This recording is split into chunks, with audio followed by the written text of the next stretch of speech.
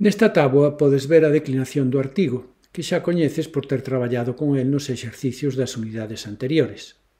Agora que xa estamos familiarizados coa primeira e segunda declinación por enteiro, podemos dar unha sinxela guía sobre a súa morfoloxía, que seguramente axudarache a entendelo e aprendelo mellor.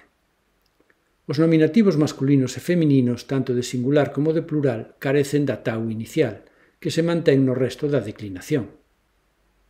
A maioría das terminacións correspóndense coas dos adxetivos de tres terminacións con femenino en eta, coas excepcións do nominativo singular, que non conserva o sigma final, e o neutro singular, que non presenta tampouco o ni final.